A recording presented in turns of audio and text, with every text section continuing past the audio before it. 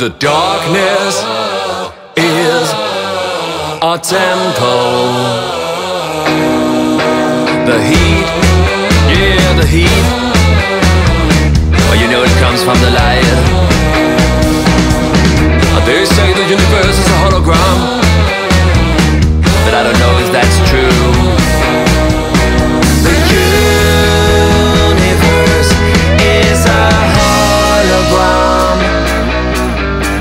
Hallelujah.